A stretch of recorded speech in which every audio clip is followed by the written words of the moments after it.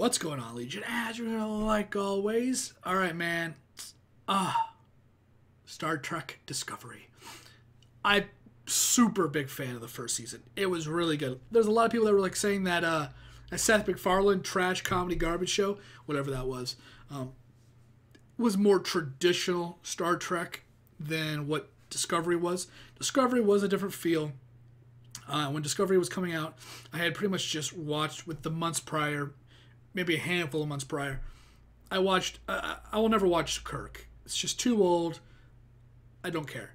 But I watched all of Next Generation, all the movies, and then simultaneously was watching Deep Space Nine, Star Trek Voyager, um, watched Enterprise. I watched them in, in the order for the most part that they came out. So uh, I watched Enterprise and skipped Kirk because I, I know a lot about Kirk. I just never watched it. It went to gen- I watched them like in order of dates released. Uh, all of it on Netflix. Just binge the whole thing. It took me, it took me like a month, I think, to watch all of them. Maybe a little over a month. Each one has like five seasons, except for maybe Enterprise.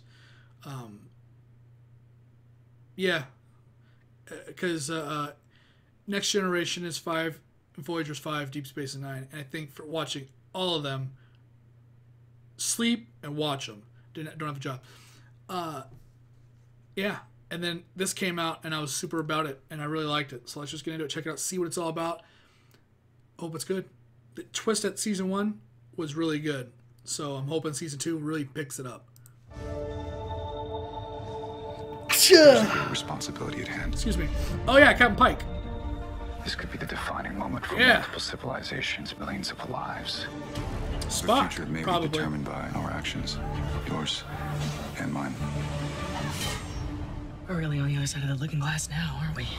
Ah, brother and sister reunited. I hope that'd be We're cool. investigating seven red bursts. Hey, These signals typically follow the arrival of a being we call the Red Angel. it's This angel. it's Captain Inhuman showed Pike. me An apocalyptic vision. Someone or something is going to end all sentient life in the galaxy. Uh, she's alive still. Nice, nice. Quite the welcome. Captain Georgiou. Yeah. Enjoying Section 3-1. Fancy. Covert ops. Threat assessment. fun times. Section 31's position that the Red Angel should be considered dangerous. We're in the middle of a fight for the future. Ooh. Mr. Tyler, we are always in a fight for the future. Captain, 10 century ships on an intercept course. Oh. Risked everything. Black Manta. You assume every burden is yours alone. Discovery will not allow a catastrophe on her watch. I mean, come on. You're, Spock, you, you're the same way. It worked. I mean, of course it worked. Ah. Ha! Oh, that looks like the, Force there. it looked like the, the travel. Ooh. Brave. Be courageous. Captain, we are riding into danger. Is that a smile I see on your face? Yes. Release date. Welcome to Discovery. Maximum warp. Aye, sir. Give me the release date now. Season two. When? January seventeenth. Oh fuck. That's pretty neat. January seventeenth. Oh, I am about that. All right, just had to get a stretch out there. January seventeenth. That's not that far away, man. That's pretty damn close. Oh, it's gonna be so good. I hope they just do the Netflix thing and just release the whole whole. They won't because it's CBS, right? They have to have marketable quarterly bullshit. Um. Oh, dude, this season looks like it's gonna be super epic. I might actually skip the first five episodes and watch them, binge them. Um, I, I have I'm not going to be doing promo reactions to the next episode of Star Trek. Um, unless you want that. Down below, let me know if you want, you know, uh, promo reactions to the following episodes. If you're that into it, I'll do it. I'll watch them weekly.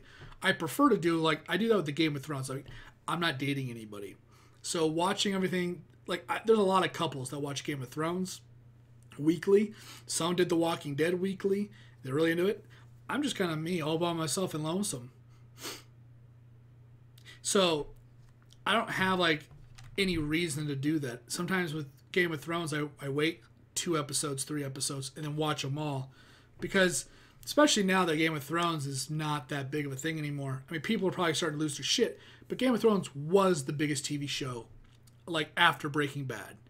It was the next Breaking Bad. Breaking Bad, people were fucking nuts about, and people watched that weekly because they had to know, and shit was being talked about on Twitter, and things were just going nuts. You know, that's how that went. Uh, Game of Thrones did the same thing. Walking Dead did the same thing. But now those shows are like seven years in, pretty much and no one gives a shit anymore. There are still the diehard fans, but it's not like it was. It's not trending anymore. I guess is the way to put it. So for Star Trek Discovery, there's not enough people where people are going to be like, like I hate watching incredible movies with not the first weekend they come out.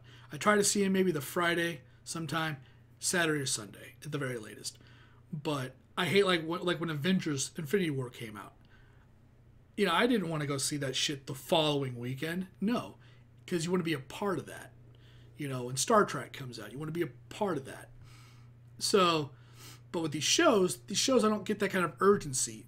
Game of Thrones, Walking Dead, Breaking Bad, those were the things back then, and not so much now because they've kind of fallen off. They're not the big thing anymore. Star Trek Discovery, I don't think has ever been that way.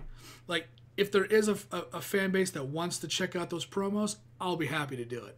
No problem. Um, other than that, I have no problem just going, eh, no one's going to talk about this. I'm not going to hear anything. I could watch three, four, five episodes in a row when I was bored. You know, I still haven't watched Lost in Space complete, the Netflix series. I haven't finished that.